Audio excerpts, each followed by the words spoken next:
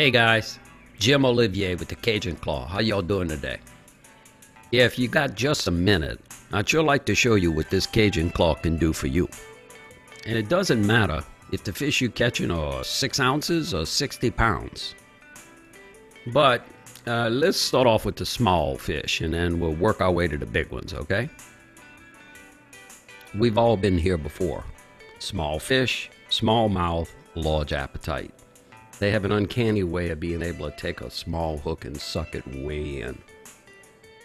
The problem is with a pair of pliers, if you grab here, you're grabbing where you just tied your string. If you grab here, you're destroying the lure itself. And if you finally are able to grab hold of that hook, you've got such limited space to work with that you just kind of got to rip it out of the flesh. Remember, guys, with the Cajun Claw, you never injure the line, never injure the lure, and most importantly, you never injure the fish. It's important at this time to remind you that with the Cajun Claw, all the metal parts are made out of hardened stainless steel so that they don't rust. They're very strong and very durable. This allows us to make the small fold-in shaft only 1 16th of an inch thick for 3 quarters of an inch making it possible for you to get into places that no hook removal tool has ever been before. So you have two ways that you can take a small hook out of a small fish. If the fish is in no trouble, you can simply take the shaft, slide it underneath the lure, bypass the string, get to the bend of the hook, and just gently and easily pop it out of the flesh. It's pretty simple. Well, what if that fish were in real trouble? Let's just say it was in a gill or it's entering the stomach, uh, you might want to take a different route. This is when I introduce you to the line trap. Just simply slide your string onto the top of the rubber wheel, spin backwards one time, and now that string is caught in a line trap. It's caught in the very top of this little hole here. Don't worry about the string anymore.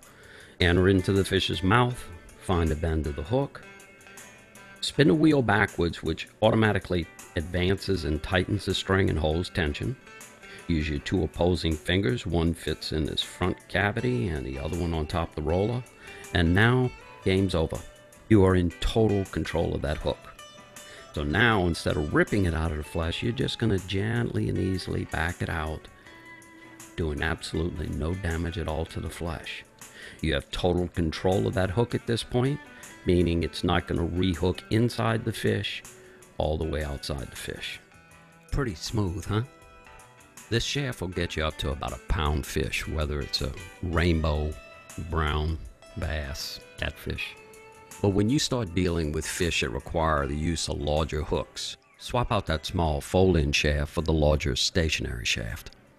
I'm going to use a 2-aught hook for this next demonstration, but the stationary shaft will go all the way from the smallest fly bait all the way up to an 8-aught hook, which is basically a shark hook. For this demonstration, we're going to say that this fish has swallowed the hook.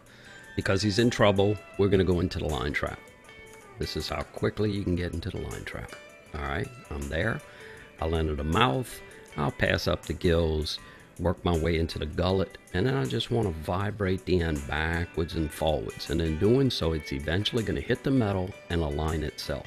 Now, just as we did previously, advance the string, use your two opposing fingers, and bam, you've never been in this position before in your life. You're inside the stomach of a fish, but yet you have total control. It's like your hand is sitting on that hook and if it were, you would just simply push it forward rather than with pliers where you're going to rip it out. With this here, you're just going to gently and easily wiggle it back and forth and it's going to come out. It actually makes a little popping noise when it comes out. You'll hear it. Now, we need to make this instrument weedless so it doesn't rehook on the way out.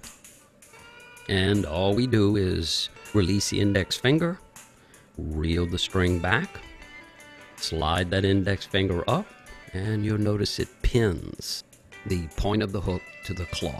Now all you've got to do is just back it out. I love my hand here, but it's not going to catch me because it's now weedless. No other hook removal system could have done what you just saw. And it doesn't matter if it was the stomach, the gill, the eye of the fish, or even your own arm.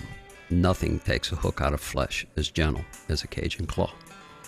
That alone would make this tool pretty special, right? But what if I tell you that it does a lot of other things that a pair of pliers just can't do? Like it's more powerful than a pair of pliers, and it takes hooks out faster than a pair of pliers. You would not use pliers to remove a rusty bolt off of a piece of metal. You'd use a ratchet. Take a look at the Cajun Claw. It is a ratchet made out of hardened stainless steel. Use it that way. And it doesn't matter if it's a single hook, double hook, or a tri hook. The Cajun Claw is faster and more powerful. But when you need one, you have an instrument which allows you to surgically go in and take a hook out of a fish no matter where.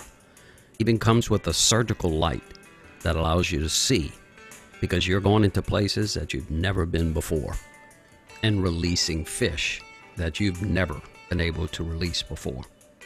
Along with the portable strap, safety cap, and carrying pouch, and over 40 minutes of instructional videos on our website to teach you exactly how to use this instrument.